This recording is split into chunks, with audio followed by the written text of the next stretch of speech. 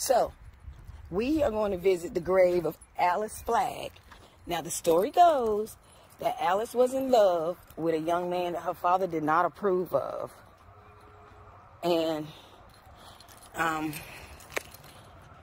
her dad found out that she was dating this fellow and he made her stop seeing him. He took her wedding ring and he threw it into the swamp somewhere near here. So she died of a broken heart. And the legend goes, I remember where her grave is because I've been out here before, but the legend goes that if you walk around her grave 13 times counterclockwise, that she will tug at your ring finger because she's still looking for her missing ring that her dad threw away. So the grave that we're looking for is a simple grave that just says Alice. I know I'm in the right cemetery because I've been here before. But it takes some, you're going to have to walk a little bit to find it.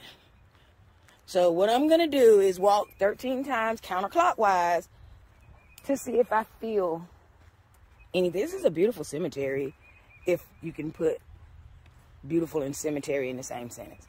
So as you can see, this young lady's grave has a path worn around it where people have walked 13 times counterclockwise and it just says Alice. So what we're going to do, turn on the meter and sit it up there. We also have, I didn't bring the other one. We also have this. So my daughter is going to stand back here. Come stand back here. And she's going to stand, stand right here, actually. Because this is almost dead center. Okay. Hold this. And we're going to count me walking 13 times counterclockwise around her grave. Okay, you ready?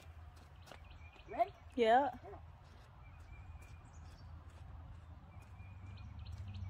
One.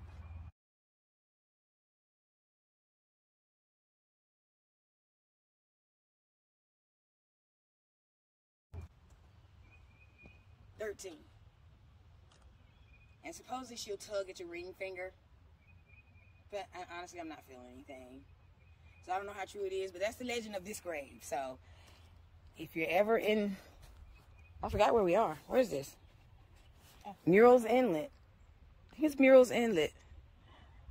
I mean, you come to the All Saints Church, the cemetery across the street is the grave of Alice Flagg. And it's not very far from the front of the, of the, um, of the gate. Because see, here's her grave, and I'm going to show you. And here comes more people. Here's the the gate that we came in. Right there. So, yeah. So this is my second video. I've already walked around the grave 13 times, but I'm not seeing, it's not making the ghost, the um, EMF reader go off at all. We had it sitting on the, on the, the um, plate of the tomb for a minute, and but what we're going to do, we're going to pick that up and we're just going to walk around for a little bit because this cemetery is like, it's very serene looking, you know. I just want to walk around and see if I feel anything tug at my ring finger, which I, but then you might have to do it at night. I don't know.